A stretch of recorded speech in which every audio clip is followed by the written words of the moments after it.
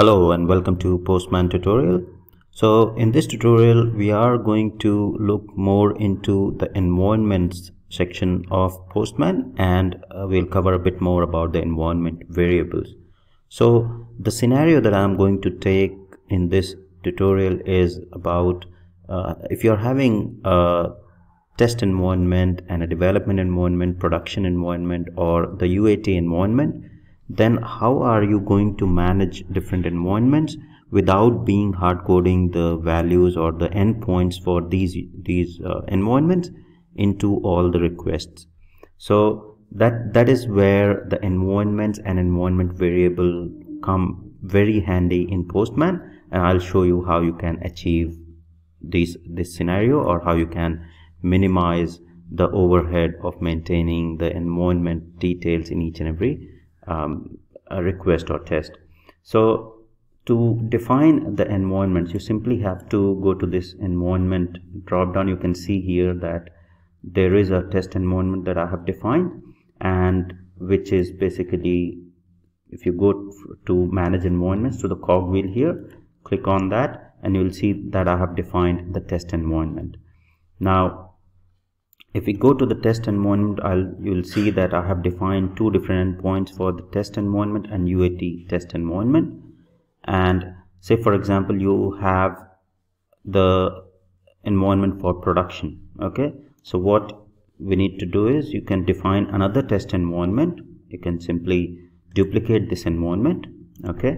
And we'll rename it as production and then remove the URL and then in the variable we can just say URL okay or environment URL and the value the, the environment value. So for example the production environment is something like uh, production.com okay? Let's leave it like that so that we can see the differences between different environment we won't be actually running this script but we'll be just showing you how it will look like when we set up the environments. Okay so saved it. Now in the test environment let's edit that and I'll remove I'll just keep it as environment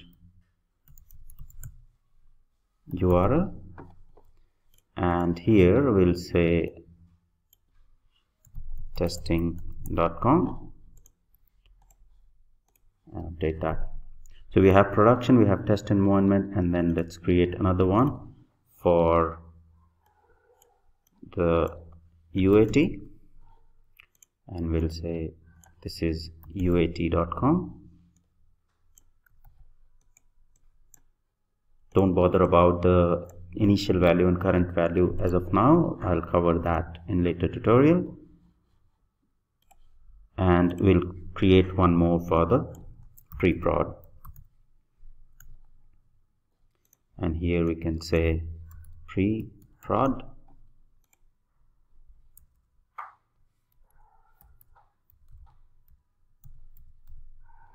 all right I'll copy this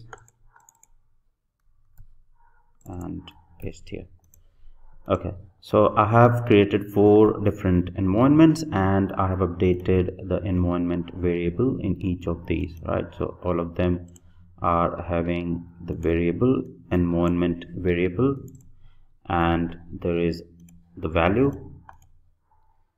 the initial value and the current value I have changed accordingly so that we can see the difference between these environment variables. So once these are all set now in your test case what you can do is you can simply go to the variable wherever you have the the URL and you start with the double curly braces and just say an environment URL and close the curly braces now here you will see that it says unresolved variable. This variable is not defined in the active collection environment or globals.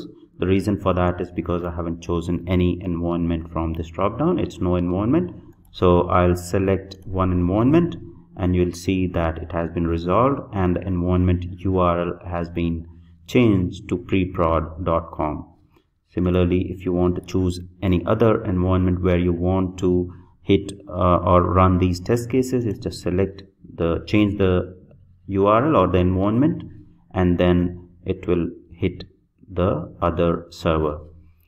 Similarly if you see the test environment it says uh, the url is testing.com and uat is uat.com so with this approach you can define the environment url and hit different servers in your project if you have multiple test environments or pre-prod or production environment that you want to run your test against then this is the approach that you should follow.